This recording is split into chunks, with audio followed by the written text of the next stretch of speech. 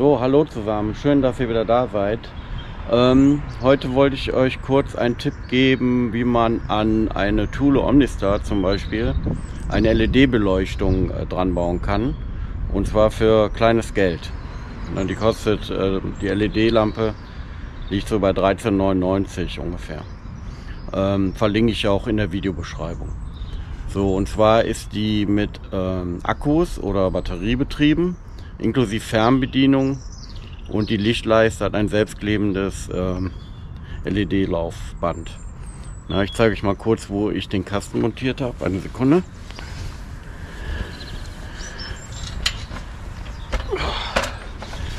So, sorry, bisschen verwackelt.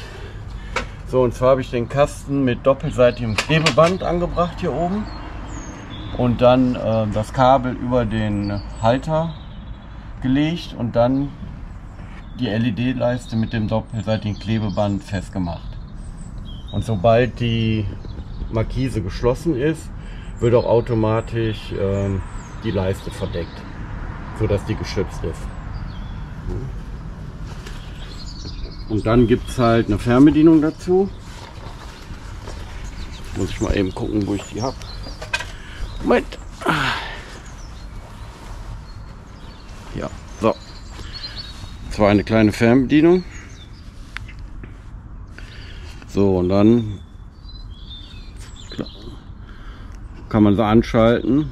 Man kann auch heller, dunkler machen oder verschiedene Frequenzen, Lauflichter einstellen, wie man das gerade haben möchte. Ja, und finde ich eine feine Sache. Vor allen Dingen kostet nicht viel und hält auch jetzt schon ein paar Monate. Ja, ich hoffe, dem einen oder anderen hat das Video gefallen. Ähm, wie gesagt, die Spec verlinke ich euch in der Videobeschreibung und äh, viel Spaß beim Nachbauen. Ne? Dann bis zum nächsten Mal. Tschüss, macht's gut.